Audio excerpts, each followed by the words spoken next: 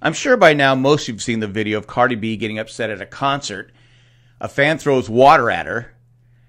She gets upset and takes her mic and throws it at the fan, hitting the fan. The fan was also removed from the concert.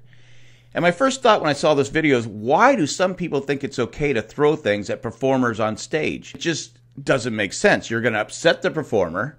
You could hurt the performer. You're going to be removed from the concert, a concert you paid good money to see.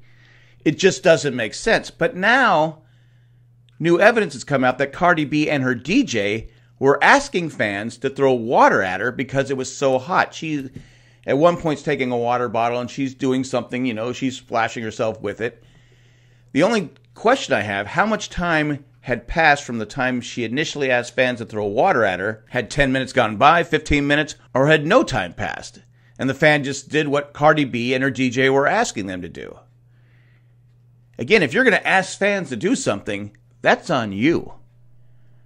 You're asking for trouble when you ask fans who are drunk, caught up in the moment, not thinking clearly, to do something. That's on you, Cardi B. That's on you.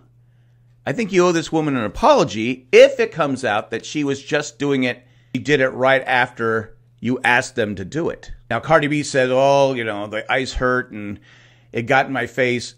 Again, it doesn't really matter. You asked the fans to toss water at you. And that's what she did. We're to blame Cardi B. Let me know in the comment section is Cardi B at fault?